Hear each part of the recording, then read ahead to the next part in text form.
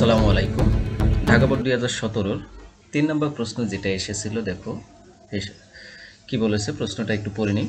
জনাব করিম দুই হাজার ষোলো সালে পহেলা জানুয়ারি তারিখে নগদ এক লাখ টাকা ও আশি হাজার টাকার ব্যাংক ঋণ নিয়ে একটি ব্যবসা আরম্ভ করেন। খেয়াল করো, বিষয়টা কিন্তু একটু থিঙ্কিংয়ের বিষয়, একটু চিন্তা করার বিষয়। দেখো, নগদ এক লাখ টাকা নিছে এবং আশি হাজার টাকা ঋণ নিয়ে আসছে। তার মানে কি, এই আশি হাজার টাকা ঋণ কিন্তু, ঋণ করে নিয়ে আসছে, এখানেও কিন্তু টাকাই নিয়ে আসছে সে। বুঝতে পারছ? এখানেও কিন্তু সে নগদ টাকাই নিয়ে আসছে। এই আশি হাজার টাকাও কিন্তু নগদই নিয়ে আসছে। ঠিক আছে?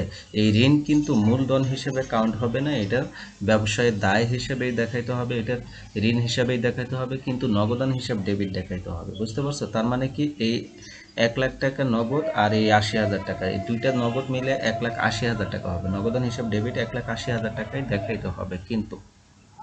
দেখো যদি যাবে জাবেদা বলে যায়। আচ্ছা তার ব্যবসায় অন্যান্য লেনদেন নিম্নরূপ ছিল নিম্নরূপ। জানুয়ারি দুই তারিখ, দুই পার্সেন্ট বাট্টায় পণ্য ক্রয় করা হলো দশ হাজার টাকা। তো পণ্য ক্রয় আর বিক্রয়ের সময় যে বাট্টাগুলো বলা থাকে, সেই বাট্টার টাকা বাদ দিয়ে বাকি টাকা যেটা, যে টাকা থাকে সেই টাকার জাবেদা করতে হয়। অর্থাৎ জাবেদার অ্যামাউন্টে সেই টাকাটাই লিখতে হয়। চার তারিখ বলেছে, জীবন বিমা প্রিমিয়াম প্রদান করা হলো পাঁচ হাজার টাকা। তোমাদের জ্ঞাতার্থে একটা জিনিস জানাই রাখি, মা, এক মালিকানা ব্যবসায় প্রতিষ্ঠানে মালিকের ব্যক্তিগত খরচগুলোকে বা যেগুলোকে জীবন বীমা প্রিমিয়াম, তারপর আয়কর, এগুলো মালিকের ব্যক্তিগত খরচ বলা হয়। তো মালিকের ব্যক্তিগত খরচ যদি ব্যবসায়ী থেকে দেওয়া হয়, সেটাকে উত্তোলন হিসাবে ধরতে হয়। বুঝতে পারছ? তার মানে জীবন বীমা প্রিমিয়াম বাবদ প্রদান করা হলো পাঁচ হাজার টাকা, এটা উত্তোলন হিসাব দিতে হবে। যে কখনো বীমা প্রিমিয়াম হিসাব দিও না, ডেবিট। ঠিক আছে? কারণ জীবন বীমা এটা মালিকের একান্তই ব্যক্তিগত খরচ। মালিকের একান্তই ব্যক্তিগত খরচগুলোকে উত্তোলন হিসেবে ধরতে হয়। তার মানে কি? জীবন বিমা প্রিমিয়ামটা উত্তোলন হিসেবে ধরতে হবে। তাইলে উত্তোলন হিসাব ডেবিট নগদান হিসাব ক্রেডিট হবে। অনাদায়ী পাওনা ধার্য করা হলো পাঁচ হাজার টাকা। অনাদায়ী পাওনাটা কি আসলে? এই জিনিসটা একটু বোঝো। সাপোজ মনে করো, তুমি কারও কাছ থেকে টাকা পাবে দশ হাজার, ঠিক আছে? কিন্তু মনে হচ্ছে যে সে আট হাজার টাকা দিবে, আর দুই হাজার টাকা দিবে না, এটা কোনোদিনও দিবে না। দেওয়া, না দেওয়ার সম্ভাবনাটাই খুব বেশি, ঠিক আছে? এই যে দুই হাজার টাকা যে আসবে না, ঠিক আছে? এটা একটা ঝুঁকির মধ্যে পড়ে গেল একটা একটা ক্ষতি হয়ে গেল। এই ক্ষতি, আমরা জানি কি ক্ষতি বা খরচ বা ব্যয় যেটা হয়, সেগুলোকে বলা হয় ডেবিট তাহলে এই যে অনাদায়ী পাওনা, এই টাকাটাকেই অনাদায়ী পাওনা বলা হয়, যে দুই হাজার টাকা পাওয়া যাবে না এই দুই হাজার টাকা। এই অনাদায়ী পাওনাটাই কি হবে? ডেবিট হবে। এখন দেখো, অনাদায়ী পাওনা কার সাথে সম্পৃক্ত? অনাদায়ী পাওনা সবসময় দেনাদার বা প্রাপ্য হিসাবের সাথে সম্পৃক্ত। ঠিক আছে? দেনাদারের অপর নামই তো প্রাপ্য হিসাব, তাই না? দেনাদার বা প্রাপ্য হিসাবের সাথে সম্পৃক্ত। তাইলে দেনাদার বা প্রাপ্য হিসাব ক্রেডিট হবে। বুঝতে পারছ? এরপর দশ তারিখ বলেছে, অফিসে কর্মীকে বেতন প্রদান করা হলো দশ হাজার টাকা। তাইলে বেতন দিছে, বেতন একটা খরচ আমরা জানি। তাইলে বেতন ডেবিট নগদান ক্রেডিট অফিসের জন্য একটি কম্পিউটার ক্রয় করা হলো। অফিসের জন্য কম্পিউটার এটা অফিস সরঞ্জামের মধ্যে যাবে। কিসে যাবে? অফিস সরঞ্জামে যাবে। তাহলে অফিস সরঞ্জাম সম্পদ সম্পদ বাড়ছে, তাহলে সম্পদ বাড়লে ডেবিট আবার অপর দিকে নগদ টাকা চলে গেছে, তাহলে নগদ টাকা চলে গেলে নগদ ক্রেডিট হয়। বিশ তারিখ বলছে, নিজ প্রয়োজনে পণ্য উত্তোলন করছে। এখানে একটা জিনিস বুঝতে হবে, পণ্য উত্তোলন। উত্তোলন করছে নিজ প্রয়োজনে, মালিক নিজ প্রয়োজনে উত্তোলন করছে তাহলে নির্দ্বিধায় উত্তোলন হিসাব ডেবিট হবে। কিন্তু কি উত্তোলন করছে? পণ্য। আমরা জানি পণ্য, চেক এবং মাল এই তিনটার নামে কখনো হিসাব করা যায় না। পণ্য, চেক আবার কারবারি বাট্টাও হিসাব করা যায় না। তো পণ্য, চেক এবং কারবারি বাট্টা, ঠিক আছে? বা মাল বলা যেতে পারে, ঠিক আছে? পণ্যর অপর নাম মালও বলা যেতে পারে। তো এই যে পণ্য, এগুলো তাইলে পণ্য হিসাব ক্রেডিট দেওয়া যাবে না। তাইলে পণ্যটা কি করা হয়েছে? ক্রয় করে নিয়ে আসা হয়েছিল। তো এখানে ক্রয় কমে গেছে। তার মানে কি ক্রয় হিসাব ক্রেডিট হবে, বুঝতে পারছ? পঁচিশ তারিখ ব্যবসায়ের উদ্দেশ্যে একটি ডেলিভারি ভ্যান ক্রয় করা হলো এক লাখ টাকা। তাইলে এটাও সম্পদ ডেলিভারি ভ্যান তাহলে ডেলিভারি ভ্যান হিসাব ডেবিট নগদান হিসাব ক্রেডিট ক নম্বর প্রশ্ন বলছে, জনাব করিমের উত্তোলনের পরিমাণ নির্ণয় করো। তো এই যে নিজ প্রয়োজনে যে পণ্য উত্তোলন করছে, এই টাকাটা, আর এই যে জীবন বীমা প্রিমিয়াম দেওয়া হয়েছে, এই টাকা, এই দুইটা টাকা কি হবে? উত্তোলন হবে, উত্তোলনে যাবে। তো আমরা ঘর কাটবো, যেহেতু তারিখ দেওয়া আছে এখানে, তাইলে তারিখ, বিবরণ টাকা টাকা, ঠিক আছে? জনাব করিমের উত্তোলনের পরিমাণ এইভাবে দিব। তাইলে চার তারিখের, প্রথমটা হলো চার তারিখে জীবন বিমা প্রিমিয়াম বাবদ প্রদান, পাঁচ হাজার টাকা। তারপরে হলো বিশ তারিখে পণ্য উত্তোলন, নিজ প্রয়োজনে পণ্য উত্তোলন পাঁচ হাজার টাকা। তো দুইটা যোগ করলে কত হবে? দশ হাজার টাকা। এই দশ হাজার টাকা উত্তোলনে চলে গেল, ঠিক আছে? এরপর খ নম্বর প্রশ্ন বলছে, দুই, চার, বারো ও পঁচিশ তারিখের লেনদেনগুলো দ্বারা জাবেদা প্রস্তুত করো। তো দুই, চার, বারো এবং দুই তারিখের লেনদেনটা খেয়াল করো। দুই তারিখের লেনদেনটা কি বলেছে? দুই পার্সেন্ট বাট্টায় পণ্য ক্রয় করা হলো। তো যখন বাট্টায় পণ্য ক্রয় করা হবে, তখন নগদ কথা উল্লেখ না থাকলে পাওনাদার বা প্রদেয় হিসাব ধরে নিতে হবে। তাহলে প্রদেয় হিসাব ক্রেডিট হবে আর ক্রয় হিসাব ডেবিট হবে, তাই না? কিন্তু এখানে দুই পার্সেন্ট বাট্টা রয়েছে। তার মানে কি এই দশ হাজার টাকা দুই পার্সেন্ট কত হবে? দুইশো টাকা। এই দুইশো টাকা বাদ দিতে হবে। দশ হাজার থেকে দুইশো টাকা বাদ দিতে হবে। কারণ কারবারি বাট্টা হিসাব করতে হয় না। এটা নগদ বাট্টা একদম মানে ইনস্ট্যান্ট বাট্টা এটা। এই ইনস্ট্যান্ট বাট্টা নামে হিসাব করতে হয় না। তো ইনস্ট্যান্ট বারটা এই টাকাটা বাদ দিতে হয়। তো দশ হাজার থেকে দুই হাজার দুইশো টাকা মাইনাস করলে নয় হাজার আটশো টাকা। তো এটা জাবেদা হবে ক্রয় হিসাব ডেবিট নগদান হিসাব ক্রেডিট ও এখানে নগদান হিসাবে দিয়ে দিছে আচ্ছা যেহেতু এখানে বাকিতে বা কোনো ব্যক্তি বা প্রতিষ্ঠানের নামে কথা বলা নাই, এই জন্য নগদান হিসেবে দিয়ে দিছে ঠিক আছে, তোমরা নগদান হিসাব দিয়ে দেবে। তাহলে ক্রয় হিসাব, ডেবিট, নগদান হিসাব, ক্রেডিট। এরপর চার তারিখ বলছে জীবন বীমা প্রিমিয়াম প্রদান। এটা যেহেতু উত্তোলন করছে, তাহলে উত্তোলন হিসাব, ডেবিট, নগদান হিসাব, ক্রেডিট। দেখো, কি বলা আছে? উত্তোলন হিসাব, ডেবিট, নগদান হিসাব, ক্রেডিট। এরপর বারো তারিখ বলছে অফিসের জন্য একটি কম্পিউটার ক্রয়। তাহলে কম্পিউটারটাকে অফিস সরঞ্জাম বলা হয়। তাহলে অফিস সরঞ্জাম হিসাব ডেবিট, নগদান হিসাব, ক্রেডিট, ওকে? এরপরে পঁচিশ তারিখ বলছে ব্যবসার উদ্দেশ্যে ডেলিভারি ভ্যান। ডেলিভারি ভ্যান একটা সম্পদ। তাহলে ডেলিভারি ভ্যান হিসাব ডেবিট, নগদান হিসাব, ক্রেডিট, ঠিক আছে? এটা হয়ে গেল। খ নম্বর প্রশ্ন। এরপর গ নম্বর প্রশ্ন বলছে, উল্লেখিত লেনদেনগুলোর হিসাব সমীকরণে কি প্রভাব বিস্তার করেছে? সেটা টেবুলার ফর্মে দেখাও। তো কি কি প্রভাব বিস্তার করেছে লেনদেনে? তো এই যে প্রথমে নগদ টাকা নিয়েছি, তাহলে নগদের নামে একটা ঘর হবে, তারপরে ঋণ নেওয়া হয়েছে, ঋণের নামে একটা ঘর হবে, দুইটা নিয়ে ব্যবসা শুরু করছে মা, তাহলে মূলধনের নামে একটা ঘর হবে অলরেডি তিনটা ঘর। এখানে পণ্য ক্রয় করা হয়েছে। ক্রয় তোমার হলো আসলে এটা যেহেতু ব্যয় ব্যয় মূলধনের সাথে সম্পৃক্ত হবে আর নগদের সাথে সম্পৃক্ত হবে, তাইলে ঘর মিলে এখানে উত্তোলন উত্তোলন মূলধনের সাথে সম্পৃক্ত হবে, নগদের সাথে সম্পৃক্ত হবে, ঘর মিলে গেছে, অনাদায়ী পাওনা আর প্রাপ্য হিসাব আছে এখানে। তাহলে প্রাপ্য হিসাবে নামে একটা ঘর দিব। এখানে বেতন যেহেতু প্রদান করা হয়েছে খরচ, তাহলে মূলধনের সাথে সম্পৃক্ত তাইলে আগে তিনটা ঘর আর বেতন, এখানে প্রাপ্য হিসাবের একটা ঘর। চারটা ঘর হয়ে গেল ইন টোটাল আর এখানে কিন্তু বেতন এটা মূলধনের সাথে সম্পৃক্ত হবে। নগদ, তো নগদের ঘর নিয়ে এনেছি অফিস সরঞ্জামের জন্য একটা ঘর দিব, তারপর ডেলিভারি ভ্যানের জন্য একটা ঘর দিব। তো এই কয়েকটা ঘর, তো এই ছয়টা ঘর হবে ইন টোটাল টেবুলার সেটে তো সম্পদে কী কী হবে? নগদ, প্রাপ্য হিসাব, অফিস সরঞ্জাম আর ডেলিভারি ভ্যান ঠিক আছে? আর দায় হবে ব্যাংক ঋণ, আর মূলধনে মূলধনটাই হবে। তো মূলধনে মূলধনটাকে এইভাবে আমরা মালিকানা সত্ত্ব দিয়ে আমরা মূলধন মাইনাস ব্যয় মাইনাস উত্তোলন এইভাবে দিতে পারি, ঠিক আছে? মূলধন মাইনাস ব্যয় মাইনাস উত্তোলন প্লাস আয়, ঠিক আছে? এইভাবে দিতে পারি। কারণ মূলধনের সাথে কি হয়? আয় যোগ হয়, উত্তোলন ব্যয় হয় উত্তোলন বাদ যায়, তারপরে কি? ব্যয়ও বাদ যায়। তো এইভাবে দিতে পারি না হলে আমরা সরাসরি মাইনাস ফিগারে এখানেই দেখাই দিতে পারি ওকে এগুলো কোনো সমস্যা না। তাইলে কি প্রথম লেনদেনটা আমরা দেখব? এই যে প্রথম লেনদেনে এক লাখ আশি হাজার, এক লাখ টাকা নগদ এবং আশি হাজার টাকার ব্যাংক ঋণ নিয়েছে তাহলে দুইটা নগদ একসাথে আসছে। তাহলে এক লাখ আর আশি হাজার যোগ করলে কত হবে? এক লাখ আশি হাজার নগদে বাড়লো আর ব্যাংক ঋণে বাড়লো। এটা পোস্টিং দিয়ে দিব, নগদে ঘরে আর ব্যাংক ঋণে ঘরে ওকে আর মূলধন ছিল এক লাখ টাকা।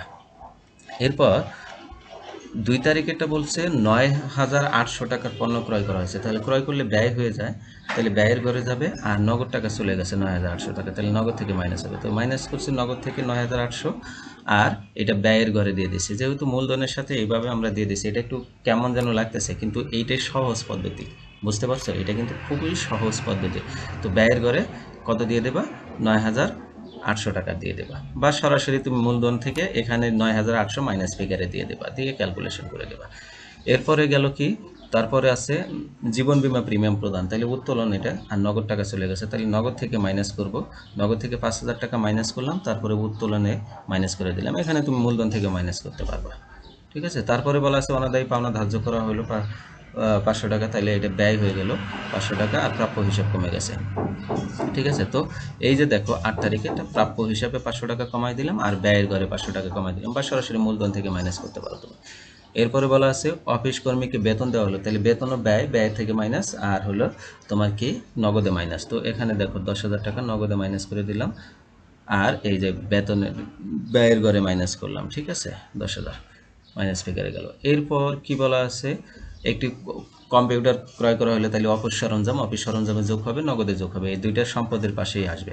ঠিক আছে? তাইলে নগদ থেকে মাইনাস হবে আর অফিস সরঞ্জামে যোগ হবে চল্লিশ হাজার টাকা। ওকে? এরপর বিশ তারিখেরটা বলা আছে নিষ্প্রয়োজনে পণ্য উত্তোলন। তাইলে উত্তোলন যেহেতু ক্রয়, এখানে কি হয়ে গেছে? ব্যয়টা হ্রাস পেয়ে গেছে। ঠিক আছে? আর উত্তোলন মাইনাস আছে। এটা দুই পাশে মূলধনেই যাবে। মূলধনের সাথে একবার যোগ হবে, একবার বিয়োগ হবে। বুঝতে পারছ? তাইলে এই যে ব্যয়ে একবার কি হয়ে গেল যেহেতু ব্যয় হ্রাস পাইছে, এটা প্লাস হবে আর উত্তোলন বৃদ্ধি পাইছে তাহলে মাইনাস হবে। বুঝতে পারছ? এরপরে হলো ব্যবসার উদ্দেশ্যে একটি ডেলিভারি ভ্যান ক্রয় করা হলো। তাহলে ডেলিভারি ভ্যান সম্পদ সম্পদ বাড়ছে, আবার নগদ টাকা কমে গেছে। তাহলে লাস্টেটা নগদ এক লাখ টাকা মাইনাস করে দিলাম আর সম্পদ বেড়ে গেল। তো সবগুলো যোগ করলাম, নগদের যোগফল আসলো ক্যালকুলেশন করে পনেরো হাজার দুইশো টাকা প্রাপ্য হিসেবে মাইনাস ফিগারে পাঁচশো টাকা আসছে। তারপরে আসছে এটা হলো তোমার অফিস সরঞ্জাম চল্লিশ হাজার টাকা, তারপরে হলো এটা হলো ডেলিভারি ভ্যান এক লাখ টাকা। তো এই তিনটা, চারটা যোগ করলে এক লাখ চুয়ান্ন হাজার সাতশো টাকা হয়। এইবার দেখো, এই পাশেও এক লাখ চুয়ান্ন হাজার চারশো টাকায় হবে। এই যে আশি হাজার টাকা আর মূলধন এক লাখ টাকা। এই দুইটা যোগ করলে এক লাখ আশি হাজার টাকা হয়। কিন্তু এই যে ব্যয়ে মাইনাস ফিগারে আসছে পনেরো হাজার তিনশো টাকা, এটা মাইনাস করে দিতে হবে এবং উত্তোলনে মাইনাস ফিগারে আসছে দশ হাজার টাকা, এটাও মাইনাস করতে হবে। তো এই দুইটা মাইনাস করলে এক লাখ চুয়ান্ন হাজার সাতশো টাকায় হয়। তো এটা মিলে গেছে। এরপর চার নম্বরের প্রশ্নে যেটা এসেছিল, দেখো দু হাজার ষোলো সালে মে মাসে জনাব সাকিবের ব্যবসায় সংগঠিত লেনদেনগুলো নিম্নরূপ। তো কী কী ব্যবসায় লেনদেন হয়েছে তাই সেটা দেখো। মে মাসের এক তারিখে তিনি নগদ পঞ্চাশ হাজার টাকা ও আশি হাজার টাকা ব্যাংক জমা নিয়ে ব্যবসা আরম্ভ করেন। তাইলে ব্যবসা আরম্ভ করেন, তাইলে এখানে বিবরণী ঘরে কিন্তু তোমাদের অবশ্যই কী দিতে হবে? মূলধন হিসাব দিতে হবে। নগদে ঘরে পঞ্চাশ হাজার টাকা, ব্যাংকের ঘরে আশি হাজার টাকা বসায় দেবে। এরপর কি বলা আছে? ছয় তারিখ বলা আছে, চেকে পণ্য ক্রয় দুই হাজার টাকা। তাইলে পণ্য ক্রয় করছ, ব্যাংক থেকে টাকা কমে গেছে। ঠিক আছে? দুই পার্সেন্ট বার্তায় নগদে পণ্য বিক্রয়। তাহলে এখানে বিক্রয় করে টাকা পাওয়া গেছে, তাহলে নগদ টাকা বাড়ছে। ঠিক আছে, দুই পার্সেন্ট বার্তা বার্তাটা কিন্তু অবশ্যই বাদ দিতে হবে। এটা কারবারি বার্তা এটা বার্তার ঘরে যাবে না। যদি নগদান বই করা হয়, তাহলে বার্তার ঘরে যাবে না। ঠিক আছে? তুমি নগদ প্রাপ্তি প্রদান যাবে দিতেও এটা বার্তার ঘরে যাবে না। এই কারবারি বার্তার নামে কখনো হিসাব হয় না। তাহলে দুই পার্সেন্ট পঁচিশ হাজার টাকা, দুই পার্সেন্ট পাঁচশো টাকা হবে। পাঁচশো টাকা মাইনাস করতে হবে। বেতন প্রদান। এটা নগদ টাকা চলে গেছে ব্যয়। আশরাফুলের নিকট পাওনা চল্লিশ হাজার টাকা। পণ্য নিষ্পত্তিতে উনচল্লিশ হাজার দুইশো টাকা পাওয়া গেছে। এখানে বার্তা পাইছে। কত চল আশরাফুলের কাছ থেকে তুমি চল্লিশ হাজার টাকা পাইতা। সেখানে সে উনচল্লিশ হাজার দুইশো টাকা দিয়ে বলছে এটা আর ডিসমিস করে দাও, আর কোনো টাকা পয়সা দিতে পারব না। পণ্য নিষ্পত্তি মানে ওখানে ওই লেনদেনটাকে একবারে নিষ্পন্ন করে দেওয়া মানে শেষ করে দেওয়া বা সমাপ্ত করে দেওয়া। বুঝতে পারছ? তার মানে কি উনচল্লিশ হাজার দুশো টাকা নিয়ে এই লেনদেনটা কি করে দিলে? সমাপ্ত করে দিলে। তাইলে এখানে আটশো টাকা কি তোমার বার্তা দেওয়া লাগল, এটা প্রদত্ত বার্তা তোমার ব্যয়। ব্যাংকে জমা দেওয়া হলো দশ হাজার টাকা। তাইলে নগদ টাকা কমে গেছে, আবার ব্যাংকে টাকা বাড়ছে। আসবাবপত্র ক্রয় বিশ হাজার টাকা। তাইলে কি হবে? আসবাবপত্র ক্রয় বিশ হাজার টাকা, নগদ টাকা কমে গেছে, আবার আসবাবপত্র বাড়ছে। সুদ পাওয়া গেল দুই হাজার টাকা, নগদ টাকা বাড়ছে। আলমের নিকট বিশ হাজার টাকা দেনা পণ্য নিষ্পত্তিতে উনিশ হাজার আটশো টাকা দিলে। এইবার পূর্ণ নিষ্পত্তি বলছে, এইবার তুমি আবার দেওয়ার সময় কিপটামি করলা। ঠিক আছে? বিশ হাজার টাকা পাইতো। ঠিক আছে? আলম বিশ হাজার টাকা পাইতো, তুমি দিলা উনিশ হাজার আটশো টাকা, দুশো টাকা কম দিলা। দিয়ে পণ্য নিষ্পত্তি করে দিলা। তো এখানেও তুমি দুশো টাকা বাট্টা পাইলা, এটা তোমার জন্য লাভ। মোট নগদ বাট্টা পরিমাণ কত? এই যে পাওনাদার এবং দেনাদারের মধ্যে যে টাকা আদান প্রদানে করার সময় যে কম যে কম টাকাটা দেওয়া নেওয়া হয় নিয়ে পণ্য নিষ্পত্তি করা হয়, সেগুলোকে নগদ বার্তা বলে। অর্থাৎ এই যে বারো তারিখ আর আঠাশ তারিখে যে লেনদেনগুলো হয়েছে, এখানে যে বার্তা হয়েছে, এগুলোকে নগদ বার্তা বলা হয়। তো নগদ বার্তা কীভাবে করব? তারিখ বিবরণ, টাকা টাকা ঘর কেটে দেবো। বারো তারিখে কি বলা আছে? প্রদত্ত বার্তা এখানে বার্তাটা প্রদান করেছিল। তুমি পাওনাদারকে থেকে টাকা আদায় করার সময় যে বার্তা দাও, সেটা প্রদত্ত বার্তা আর দেনাদারকে টাকা দেওয়ার সময়, ও সরি পাওনাদারকে টাকা দেওয়ার সময় যে টাকা কম দাও, সেটা হলো প্রাপ্ত বার্তা আর দেনাদারের কাছ থেকে টাকা আদায় করার সময় যে টাকা কম দাও কম নেওয়া হয়, সেটা হলো প্রদত্ত বার্তা তো এখানে চল্লিশ হাজার থেকে উনচল্লিশ হাজার দুইশো মাইনাস করলে কত হবে? আটশো টাকা, ওখানে বার্তা আর এখানে বিশ হাজার থেকে উনিশ হাজার আটশো মাইনাস করলে দুশো টাকা বার্তা তো নগদ বার্তার পরিমাণ কত আসলো? এক এক হাজার টাকা। উপযুক্ত লেনদেন দ্বারা নগদ প্রাপ্তি জাবেদা তৈরি করো। তাহলে নগদ প্রাপ্তি জাবেদা মানে নগদ টাকা পাওয়া গেছে, এই জাবেদ, এই লেনদেনগুলোই আসবে। মোট কথা নগদ টাকা পাওয়া গেছে এই জাবেদ, লেনদেনগুলো আসবে। তো নগদ প্রাপ্তি জাবেদার ঘর কি হবে? তারিখ, ক্রেডিট হিসাব খাত, সূত্র, নগদান হিসাব, ডেবিট, প্রদত্ত বার্তা হিসাব, ডেবিট, বিক্রয় হিসাব, ক্রেডিট, প্রাপ্য হিসাব, ক্রেডিট, অন্যান্য হিসাব, ক্রেডিট, ঠিক আছে? তো এক তারিখে দেখো, লেনদেনে পঞ্চাশ হাজার টাকা আর আশি হাজার টাকা নগদ ব্যাংক জমা নিয়ে ব্যবসা শুরু করছিল। তাহলে পঞ্চাশ হাজার আর আশি হাজার যোগ করলে কত হবে? এক লাখ তিরিশ হাজার টাকা। তো এক লাখ তিরিশ হাজার টাকা নগদান হিসাব, ডেবিট আর মূলধন হিসাব, ক্রেডিট। মূলধন হিসাব নামে যেহেতু ঘর নাই, তাইলে অন্যান্য ঘরে দিয়ে দেওয়া হয়েছে। তারপরে আট তারিখটা দেওয়া আছে, দেখো। নগদে পণ্য বিক্রয় করেছে দুই পার্সেন্ট কারবারি বাটে তাহলে চব্বিশ হাজার পাঁচশো টাকা হবে। তাহলে এটা নগদান হিসাব ডেবিট বিক্রয় হিসাব ক্রেডিট তাই না? জাবেদা তাইলে এখানে বিক্রয়ের নগদের ঘরে চব্বিশ হাজার পাঁচশো টাকা দিয়ে দেবা আর বিক্রয়ের ঘরে চব্বিশ হাজার পাঁচশো টাকা দিবা। কিন্তু পাঁচশো টাকা যে কারবারি বাট্টা থাকল, এটা তো বাট্টার ঘরে আমি বসাইতে পারতাম, তাই না? এটা প্রদত্ত বাট্টা, এটা এটা কিন্তু কারবারি বাট্টা না, ঠিক আছে? কারবারি বাট্টাটা হিসাব করতে হয় না। এরপরে হলো আমাদের কত তারিখে পাওয়া গেছে নগদ টাকা, এই যে হ্যাঁ বারো তারিখে নগদ টাকা পাওয়া গেছে। পঞ্চল্লিশ হাজার দুইশো টাকা নগদ পেয়েছে আটশো টাকা বাট্টা দেওয়া হয়েছে। তাহলে নগদান হিসাব ডেবিট উনচল্লিশ হাজার দুইশো, প্রদত্ত বাট্টা হিসাব আটশো ডেবিট আটশো, আর কি, এটা হবে তোমার প্রদেয় হিসাব ক্রেডিট চল্লিশ হাজার টাকাই হবে। কারণ চল্লিশ হাজার টাকা তুমি নিষ্পত্তি করেছ, তাইলে এটা কি হবে? সরি এই যেখানে আশরাফুল বা প্রদেয় হিসাব প্রদেয় হিসাব ব্র্যাকেটে আশরাফুল লিখতা। তো উনচল্লিশ হাজার দুশো টাকা নগদ পেয়েছ, বারটা দিছো আটশো টাকা, আর চল্লিশ হাজার টাকা চলে গেছে প্রাপ্য হিসাবে, ঠিক আছে? এরপরে সুদ আয় পাওয়া গেল দুই হাজার টাকা, এখানে নগদ টাকা পেয়েছ, তাইলে নগদান হিসাব দেবে সুদ আয় হিসাব ক্রেডিট তাইলে এখানে সুদ আয় লিখবা, নগদে করে আর অন্যান্য করে দিল এবার সবগুলো ঘরের যোগ ফল করে দেবা, করলে এটা রেজাল্ট আসবে। এরপর গ নম্বর প্রশ্ন বলেছে একটি নগদ লেনদেন দ্বারা একটি নগদ প্রদান জাবেদা প্রস্তুত করো। তো এখানে নগদ প্রদান মানে যে যে টাকাগুলো চলে গেছে, এই যে চেকে চলে যাওয়া আর নগদ চলে যাওয়া একই জিনিস, ঠিক আছে? তাইলে ঘর কাটবো কীভাবে সেটা আগে দেখে। তারিখ, চেক নম্বর দিলেও দিতে পারো, না দিলেও সমস্যা নাই। ডেবিট হিসাব কাজ সূত্র, ক্রয় হিসাব ডেবিট, প্রদেয় হিসাব ক্রেডিট, ডেবিট, অন্যান্য হিসাব ডেবিট প্রাপ্ত বার্তা ক্রেডিট, নগদ ক্রেডিট, ঠিক আছে? নগদান ক্রেডিট। তো দেখো, প্রথমে যে এই যে তুমি ছয় হাজার টাকার একটা চেকে পণ্য ক্রয় করেছে ছয় তারিখে দুই হাজার টাকা। তো এইটা ক্রয় হিসাব ডেবিট, নগদান হিসাব ক্রেডিট। এখানে চেকে ক্রয় করেছ তাহলে ব্যাংক হিসাব। ব্যাংক আর নগদটা একই ধরে নিতে হবে, বুঝতে পারছ? তাইলে ক্রয় হিসাব, এটা ক্রয় ডেবিট আর নগদে ক্রেডিট দিয়ে দিছো।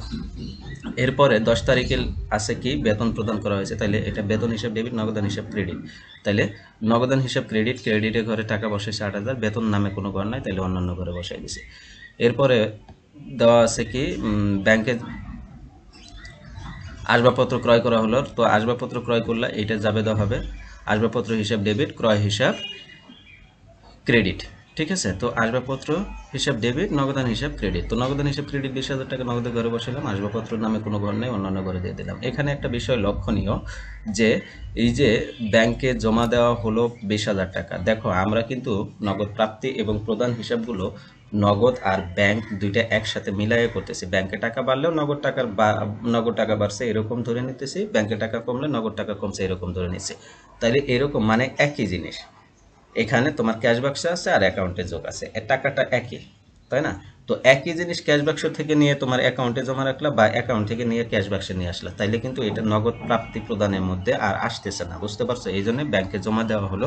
এই টাকাটা নগ- নগদ প্রদানের মধ্যে আসবে না। কারণ নগদ টাকা কমে কিন্তু তোমার আবার অ্যাকাউন্টেই আসছে। তোমার অ্যাকাউন্টে কোনো টাকা পাইলে তো আবার তুমি নগদ প্রাপ্তিতেই লেখো, তাই না? তো এই জন্যই এই টাকাটা আসতেছে না ওকে এরপরে আঠাশ তারিখে এটা প্রদান করা হয়েছে, বিশ হাজার টাকা প্রদান করা হয়েছে। তাহলে প্রদেয় হিসাবে বিশ হাজার টাকাই দিব। আলমে করে প্রদেয় হিসাবে বিশ হাজার টাকা, কিন্তু নগদ প্রদান করছে উনিশ হাজার আটশো নগদে করে উনিশ হাজার আটশো আর প্রাপ্ত বার্তা দুইশো। দিয়ে দিলাম, এরপর সব কিছু যোগ করে দিলাম। এরপর পাঁচ নম্বর প্রশ্নটা বলেছে জনাব মাসরাবি বিন মুর্তজা দুই হাজার সালের জুন মাসে নিম্নোক্ত লেনদেনগুলো সংগঠিত হয়েছিল। কি কি হয়েছিল দেখো? দুই হাজার পনেরো জুনে এক, নগদ তহবিল সত্তর হাজার টাকা ও ব্যাংক জমা ডেবিট উদ্বৃত্ত আশি হাজার টাকা, ওকে? চেকের মাধ্যমে ভাড়া পরিশোধ পাঁচশো টাকা। এটা তোমার নগদান নগদান বই তৈরি করতে বলবে। আচ্ছা ঠিক আছে, তাইলে নগদ তহবিল জাহিদকে চেক দ্বারা পরিশোধ করা হলো, ব্যাংক থেকে টাকা কমে গেছে, ব্যাংকে জমা দেওয়া হলো, নগদ টাকা কমছে, ব্যাংকে টাকা বাড়ছে। ব্যাংক দ্বারা প্রদেয় বিলের অর্থ পরিশোধ করা হলো, তাইলে প্রদেয় বিল কমে গেছে, ব্যাংকে টাকা কমে গেছে। ব্যাংক কর্তৃক প্রাপ্য বিল আদায়, তাইলে ব্যাংকে টাকা বাড়ছে। অফিসের জন্য ব্যাংক হতে উত্তোলন, তাইলে অ্যাকাউন্ট থেকে টাকা কমে গেছে, ব্যাংকে টাকা কমছে, আবার নগদ টাকা বাড়ছে। ব্যাংক চার্জ করা হলো একশো টাকা তাহলে ব্যাংক থেকে টাকা কমে গেছে। তিন পার্সেন্ট বারটা বাদ দেওয়ার পর মিনার নিকট হতে পাওয়া গেল পাঁচশো টাকা। তাহলে যেহেতু এখানে তিন পার্সেন্ট বারটা বাদ দেওয়ার পর, বুঝো কাহিনিটা, তিন পার্সেন্ট বাটটা বাদ দেওয়ার পর পাওয়া গেছে পাঁচ হাজার টাকা। দ্যাটস মিন এখানে কিন্তু বাটটার আর কোনো কাজ নাই। বাটটা বাদ দেওয়ার পরে পাঁচ হাজার টাকা পাইছে। তাহলে বাটটার তো কোনো কাজ নেই। নগদ উদ্বৃত্ত পাঁচশো টাকা হাতে রেখে বাকি টাকা ব্যাংকে জমা দিতে হবে। এখানে একটু কাজ করতে হবে ক্যালকুলেশন করতে হবে। আমরা অঙ্কের সময় দেখাবো। তো ক নম্বর প্রশ্ন বলছে, পঁচিশ তারিখে লেনদেন পঁচিশ তারিখে লেনদেন দ্বারা কি বলছে? যে একটি লেনদেন দ্বারা বাট্টা নির্ণয় করো। তো পঁচিশ তারিখে লেনদেনে কি ছিল? বাট্টা ছিল। এই তিন পার্সেন্ট বাট্টা বাদ দেওয়ার পর তিন, কত আসছে? পাঁচ হাজার টাকা আসছে। তাইলে বাট্টাটা নির্ণয় করো। তাইলে খেয়াল করো, যে টাকাটা বাট্টাটা বাদ দিচ্ছ বাদ দেওয়ার পরে পাঁচ পাঁচ হাজার টাকা আসছে। দ্যাটস মিন তোমার মোট টাকাটা একশো পার্সেন্ট এর মধ্যে তিন পার্সেন্ট বাট্টা চলে গেছে। তো এলে কি, তিন পার্সেন্ট বাট্টা একশো থেকে তিন পার্সেন্ট গেলে কত হবে? সাতানব্বই। তার মানে কি সাতানব্বই পার্সেন্ট সমানই হলো পাঁচ হাজার টাকা, বুঝতে পারছ? তো সাতানব্বই, পাঁচ হাজারকে সাতানব্বই দিয়ে ভাগ করবা, তিন দিয়ে গুণ করলে বাট্টার পরিমাণ বের হয়ে যাবে। তো এইটাকে এইভাবে করব। পাঁচ হাজার ভাগ সাতানব্বই গুণন তিন করলে একশো পঁচিশ টাকা বের হবে। আমি আবারও বলছি, মনে করো মোট টাকা পাও তুমি একশো পার্সেন্ট এর মধ্যে বাটটা হলো তিন পার্সেন্ট বলছে বাটটা বাদ দেওয়ার পরে পাঁচ হাজার টাকা পাইছো। তার মানে কি তুমি একশো পার্সেন্ট থেকে তিন পার্সেন্ট বাটটা বাদ দাও। তাহলে বাদ দিলে কত থাকবে? সাতানব্বই পার্সেন্ট এই সাতানব্বই পার্সেন্টই তো তুমি পাইছো, তাই না? তো সাতানব্বই পার্সেন্ট সমান এখানে দেওয়া আছে পাঁচ হাজার টাকা। তো পাঁচ হাজারকে সাতানব্বই দিয়ে ভাগ করে তিন দিয়ে গুণন করলে তিন পার্সেন্ট বের হয়ে যাবে। ঠিক আছে? এভাবে একশো পঞ্চান্ন টাকা বের করে দিল। এরপর খ নম্বর বলছে, দুই, পাঁচ, আট ও দশ তারিখের লেনদেনগুলো জাবেদা দাখিলে দেখো। তো দুই তারিখের লেনদেন কি বলছে? চেকের মাধ্যমে ভাড়া পরিশোধ তাহলে ভাড়া যেহেতু ব্যয় ব্যয় হিসাব কি হবে ডেবিট হবে। তাহলে ভাড়া হিসাব ডেবিট চেকের মাধ্যমে তাহলে ব্যাংক থেকে টাকা চলে গেছে, তাহলে ব্যাংক হিসাব ক্রেডিট ভাড়া হিসাব ডেবিট ব্যাংক হিসাব ক্রেডিট ওকে এরপরে পাঁচ তারিখে বলছে, জাহিদকে চেক দ্বারা বেতন পরিশোধ। তো বেতন যেহেতু ব্যয়, তাহলে বেতন হিসাব ডেবিট আর চেক দিয়ে তৈরি হচ্ছে ব্যাংক হিসাব ক্রেডিট তো এটা বেতন হিসাব ডেবিট ব্যাংক হিসাব ক্রেডিট এক হাজার টাকা। এরপর এরপর আট তারিখ বলেছে ব্যাংকে জমা দেওয়া হলো পাঁচ হাজার টাকা। তাহলে ব্যাংকে টাকা বাড়ছে, নগদ টাকা কমে গেছে। ব্যাংক হিসাব ডেবিট নগদান হিসাব ক্রেডিট যাবে হবে। তো ব্যাংক হিসাব ডেবিট নগদান হিসাব ক্রেডিট ওকে এরপরে বলা আছে কত? দশ তারিখে। এটা বলছে ব্যাংক দ্বারা প্রদেয় বিলের অর্থ পরিশোধ। তাহলে ব্যাংকে টাকা কমে গেছে, প্রদেয় বিলও কমছে। তাহলে দায় যদি কমে তাহলে ডেবিট হয়। তাহলে প্রদেয় বিল ডেবিট ব্যাংক হিসাব ক্রেডিট কি হবে? প্রদেয় বিল ডেবিট ব্যাংক হিসাব ক্রেডিট তিন হাজার টাকা ওকে এরপর গ নম্বর প্রশ্ন বলছে, পাঁচ ও পঁচিশ তারিখে লেনদেন বাদে অন্যান্য লেনদেন দ্বারা দুই গণনা তৈরি করো। তো পাঁচ তারিখে লেনদেন বাদ দিতে বলছে এবং কি করতে বলছে?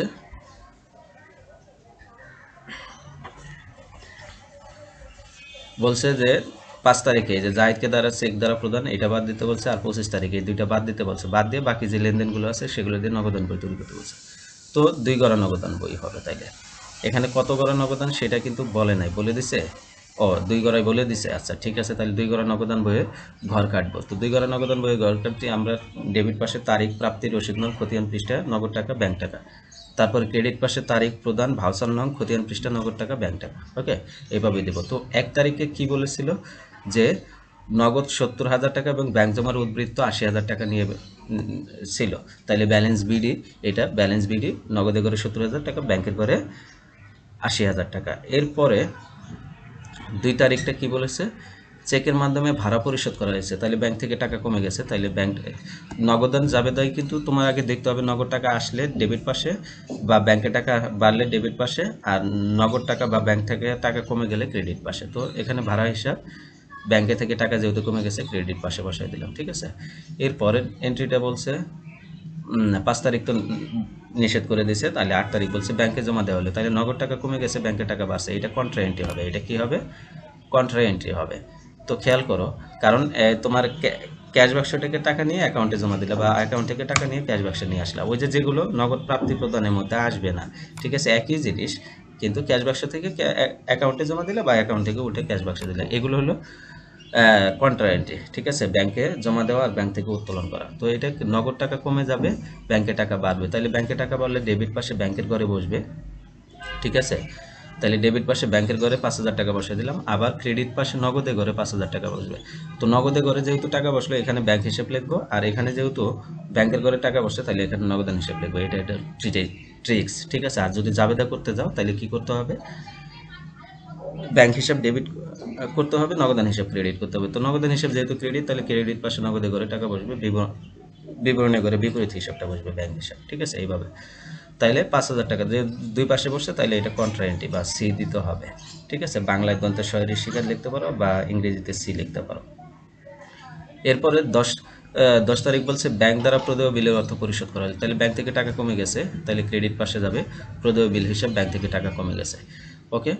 এরপরে বলা আছে, এগারো তারিখ ব্যাংক কর্তৃক প্রাপ্য বিল আদায়, ব্যাংকে টাকা বাড়ছে তাহলে ডেবিট পাশে ব্যাংকের ঘরে আসবে। তাহলে প্রাপ্য বিল হিসাব ব্যাংকের ঘরে বিশ হাজার টাকা বসে গেল, ঠিক আছে?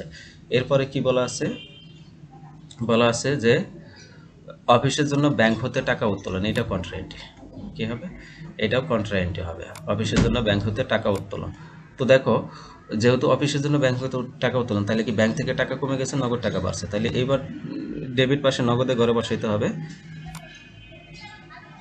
কি করতে হবে? ডেবিট পাশে নগদে ঘরে বসাইতে হবে। তো নগদে ঘরে ছয় হাজার টাকা বসাই দিলাম। আর ক্রেডিট পাশে ব্যাংক থেকে টাকা কমে গেছে, তাহলে ছয় হাজার টাকা ব্যাংকের ঘরে বসাই দিলাম। তাইলে দুই পাশে যেহেতু চলে গেল, এটা কন্ট্রা এন্ট্রি ওকে এরপরে এন্ট্রিগুলো কি বলছে? পঁচিশ তারিখ তো বাদ দিতে বলছে। পনেরো তারিখ বাদ আছে। ব্যাংক চার্জ করা হলো। তাহলে ব্যাংকে থেকে টাকা কমে গেছে। তো ব্যাংক থেকে টাকা যখন কমে যাবে, তখন ব্যাংকে ক্রেডিট পাশে বসাইতে হবে। তাহলে ব্যাংক চার্জ হিসাব ব্যাংকের করে টাকা কমে যাবে। এরপরে কি বলা আছে? যে পঁচিশ তারিখ বাদ দিতে বলছে, তিরিশ তারিখ বলছে, নগদ উদ্বৃত্ত পাঁচশো টাকা রেখে বাকি টাকা ব্যাংকে জমা দিতে বলছে। তাইলে আমরা নগদ উদ্বৃত্ত ব্যালেন্স সিডি এই ডেবিট পাশে নগদ টাকা যোগ করি আগে। তাইলে সত্তর আর ছয় যোগ করলে কত হয়? ছিয়াত্তর। এই পাশে ছিয়াত্তর লিখব। ছিয়াত্তর লেখে কি করব? ব্যালেন্স সিডি এখানে ব্যালেন্স সিডির কথাই বলেছে যে নগদ উদ্বৃত্ত পাঁচশো টাকা মানে ব্যালেন্স সিডি টাইপ রাখতে বলছে। তো পাঁচশো টাকা রেখে বাকি টাকাগুলো কি করতে হবে? ব্যাংকে জমা দিতে হবে। তো দেখো, এই যে ছিয়াত্তর হাজার থেকে এই যে উপরে পাঁচশো আর এই পাঁচ হাজার মাইনাস করলে কত হবে? সত্তর হাজার পাঁচশো টাকা। এই সত্তর হাজার পাঁচশো টাকা এখনও ক্যাশে আছে, ঠিক আছে? ক্যাশে আছে মোট একাত্তর হাজার টাকা, কিন্তু এর মধ্যে পাঁচশো টাকা রাখতে বলছে আর বাকি টাকা ব্যাংকে জমা দিতে বলছে। তো সত্তর হাজার পাঁচশো টাকা ব্যাংকে জমা দিতে বলছে। তাহলে ব্যাংকে জমা দিলে কি? নগদ টাকা কমে যাবে ব্যাংকে টাকা বাড়বে। তাইলে এখানে এই যে সত্তর হাজার পাঁচশো টাকা, এই পাশে নগদে কমাই দিলাম। আর বাড়ছে যেহেতু ব্যাংকে, তাহলে ডেবিট পাশে, ব্যাংকের ঘরে সত্তর হাজার পাঁচশো টাকা পাশে দিলাম। তাহলে এক পাশে নগদ কমে গেল আর এক পাশে ব্যাংক বাড়লো, তাহলে এটা কন্ট্রায়েন্টি এটাও কন্ট্রায়েন্টি ঠিক আছে? করে এটা ব্যালেন্স করে ফেললাম, এরপর ব্যাংকের ব্যালেন্স করব। তো আশি হাজার, পাঁচ হাজার, বিশ হাজার, সত্তর হাজার পাঁচশো যোগ করলে এক লাখ পঁচাত্তর হাজার পাঁচশো। এটা ক্রেডিট পাশে দেবে এক লাখ পঁচাত্তর হাজার পাঁচশো, তো এক লাখ পঁচাত্তর হাজার পাঁচশো থেকে উপরে এগুলো মাইনাস করব। কী কী আছে? একশো, ছয় হাজার, তিন হাজার পাঁচশো মাইনাস করলে এক লাখ পঁয়ষট্টি হাজার নয়শো টাকা হয়। তো এক লাখ পঁয়ষট্টি হাজার নয়শো টাকা হলো ব্যালেন্স সিডি আগের মাসের ব্যালেন্স সিডি পরের মাসের এক তারিখে balance B D. Balance B D July মাসের এক তারিখে পাঁচশো নগদ আর কত ছিল? ব্যাংকে জমা ছিল এক লাখ পঁয়ষট্টি হাজার নয়শো টাকা। তো এইটাই ছিল হিসাবের বই থেকে বইসমূহ থেকে ঢাকা বোর্ড দুই হাজার সতেরোতে যে তিনটা প্রশ্ন এসেছিল, সেই তিনটা প্রশ্নের আলোচনা। আশা রাখি তোমরা বুঝতে পারছ। আর সব কনফিউশন দূর হয়েছে। তারপরেও কোথাও যদি বুঝতে কোনো প্রবলেম হয় বা কোনো কনফিউশন থাকে, তাহলে আমাকে কমেন্টের মাধ্যমে জানাই দিও। সে পর্যন্ত সবাই ভালো থাকো, সুস্থ থাকো। আল্লাহ হাফেজ।